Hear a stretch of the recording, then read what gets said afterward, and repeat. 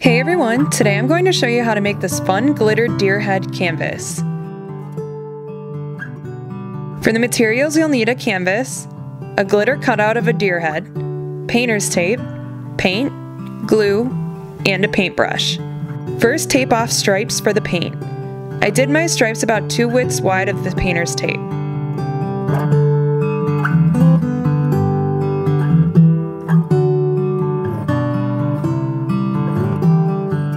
Then paint where you didn't tape off.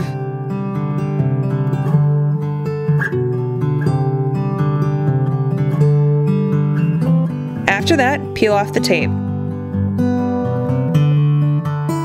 Then glue the deer head to the canvas.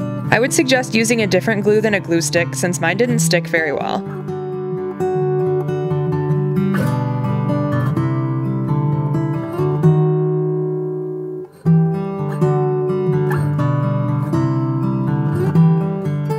And that's it!